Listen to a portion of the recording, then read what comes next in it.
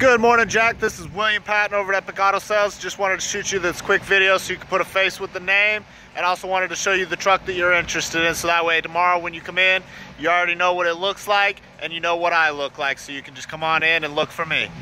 All right, here goes the truck. It's the 2011 GMC. It's got the nice rims on it.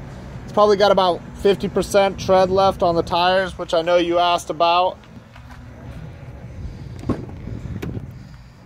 The interior, it's in good shape. I mean, it's got a couple little uh, wear spots in it, but nothing too major.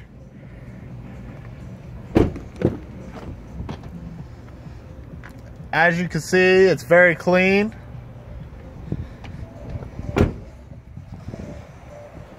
It's got the uh, tinted tail lights on it, the tow package got the spray in bed liner already in it, so you don't have to worry about that.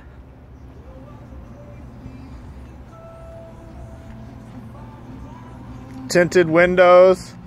Makes it a little cooler here in uh, Texas.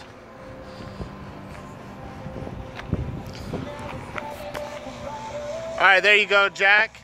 Uh, if you have any questions, please feel free to give me a call at 281-955-6555 or you can reach me on my cell 949-878-7917. Look forward to doing business with you and have a great day.